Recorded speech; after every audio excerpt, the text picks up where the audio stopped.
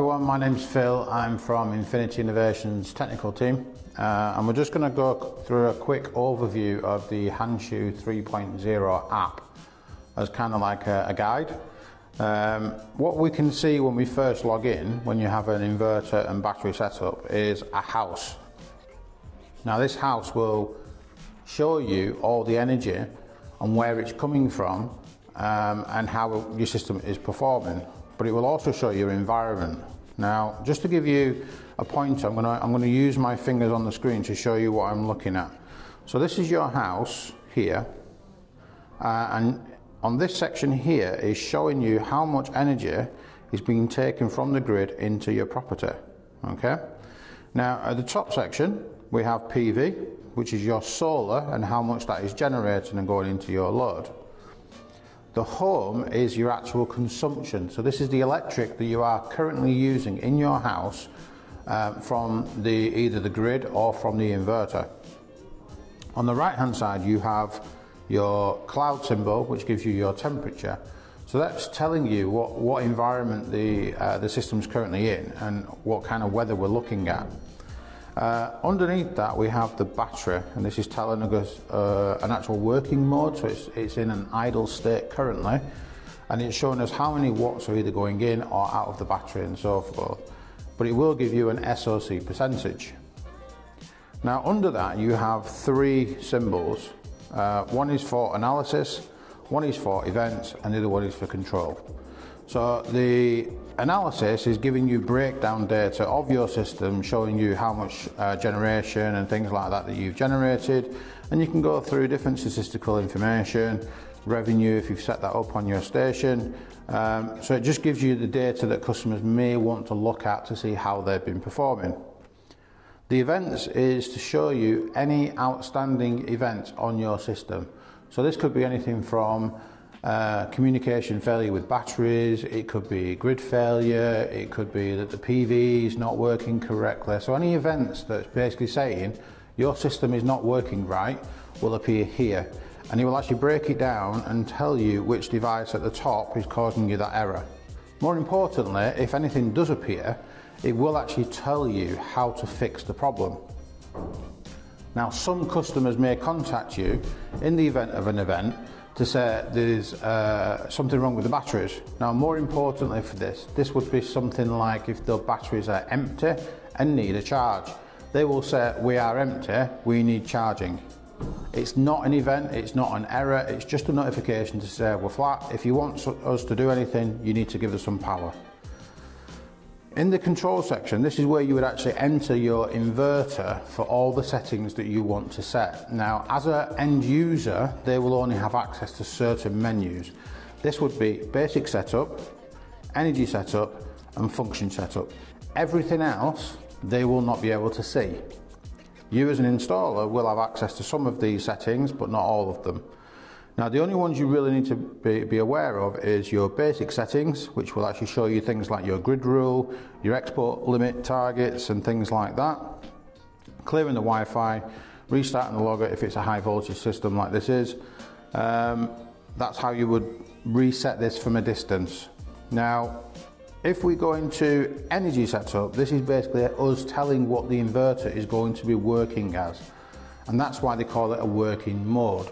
So currently this is set to self-consumption mode. That basically means it's getting all the information coming in and it's working with that information like the energy, whether you've got PV, whether it's coming from the grid, and it works out which one is best to use or if it needs to use all of them. You can set your maximum SOC value to 100%. To be honest, that should always be at 100%, should never really change that. Uh, and the battery discharge minimum percentage is always 5%. You should never go below 5% on these batteries. We can change the working mode and you've got four different variations. You've got reserve power mode, so that's basically changing the priority from load being the most important to your battery becoming the most important. So your battery becomes number one, load becomes number two, export becomes number three. Under self-consumption, it's the opposite way around. It would be load number one, battery number two, export number three. User defined is where you would set your charge times. and also your forced discharge times and how you enable that. We'll go that, into that in a second. Off grid is basically telling the system you have no grid connection, you are completely off grid. It will change systematically everything in the inverter to make sure that you are not connected to a grid in the settings and allow your system to work in an off grid mode. So let's just go into user defined. Let's just confirm that. Automatically presets um, the, the system for you.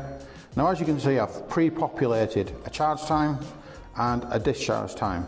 So what I'm going to do is go into my charge settings. You can see what I've put in there as a maximum power, uh, my start time, my end time. What I haven't done is enabled it, but in order for me to enable it, I've also got to save it. Okay, so now I've sent that to the server, which will then send the signal to the inverter to say that is my new setting. Now what I can do with the discharge setting is do exactly the same thing. I need to enable it and then I need to save it. Now again, uh, what we're looking at on the screen here is maximum power outage uh, as, a, as a total system. This particular one is actually a 25 kilowatt unit, so I've actually set it to 15. Um, and the discharge time, so I'm forced discharging it back to the grid from between the hours of 1 o'clock in the afternoon till 2 o'clock. Now to see that in a working motion, we'll go back to the main page. Now, like I said, it sends it to the server first, then the server's got to send it to the uh, inverter. Now, depending upon the signal strength in the actual vicinity, uh, that can take a number of seconds to actually come through. Let's just refresh and see if that's now working.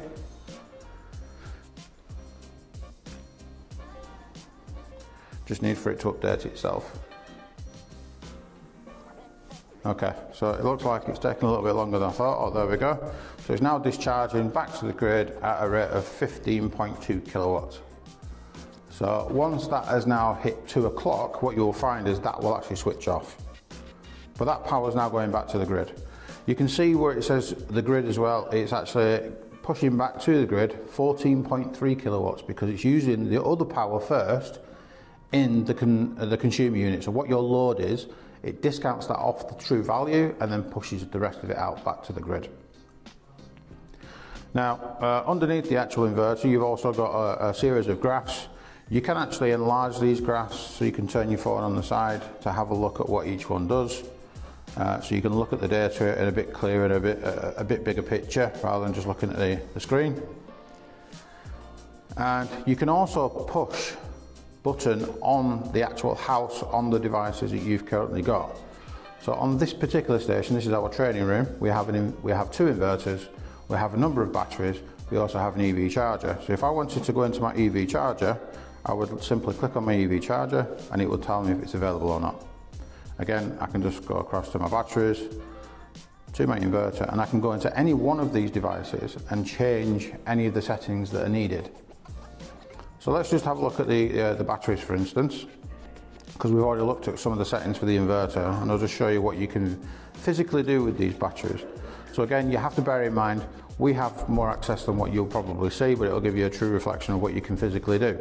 So let's go into the high voltage again because that's what we were using. This gives you a breakdown, shows you exactly what's going out of the battery.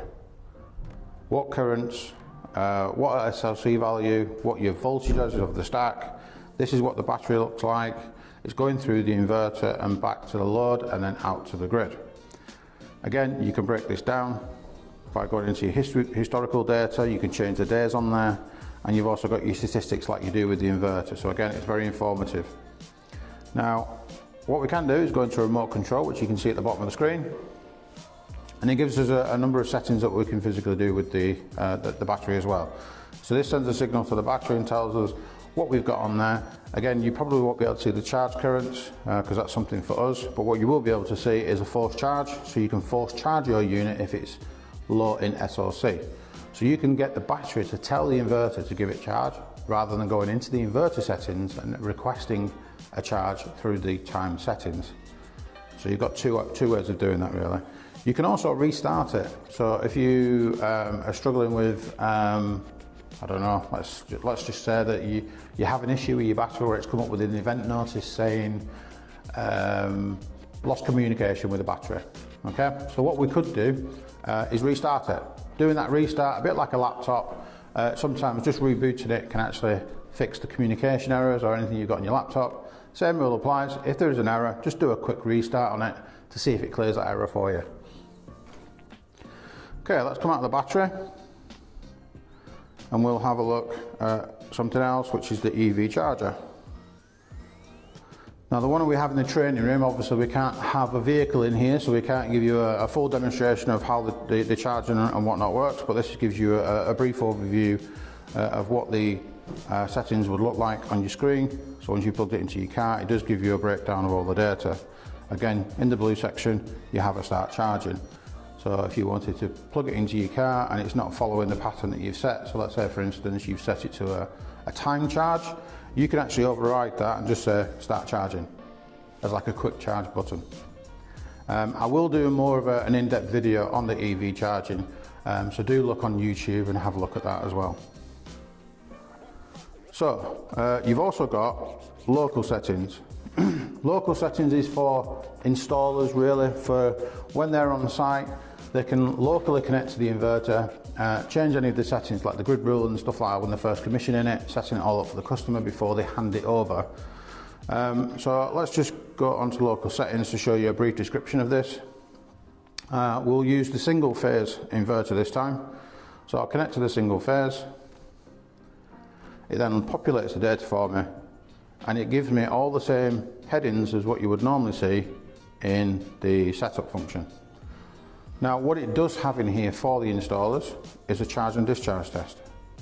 So while you're on site, when you're commissioning it for the first time, you can actually say to the inverter, right, okay, I've done everything I need to do now, let's do a quick charge. It sets a charge and then shows you down here the actual uh, information of what's going into the battery or not. So it's live data. If nothing appears and the battery's not actually taking any charge, that would indicate that you probably got a breaker turned off or there may be a loose wire or something like that. So it allows you then to stop it, check your connections, you can restart that at any time. It could also be that the battery is actually full and it can't take charge. So if we then think, okay, well the battery's full, I can't put any charge in it, let's do a discharge test instead. Straight away you can see on the screen it's discharging now at 71.5 amps. So it is discharging, it is working. So this is a quick tool to find out whether or not your system's actually working. Now most batteries do come out around about 50% SOC value, so you should be able to charge it and you should be able to discharge it. But this is a useful tool to find out if you've actually wired it correctly. Coming out of that,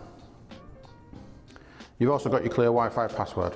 Again, I've done another video on this already, you can see this on YouTube.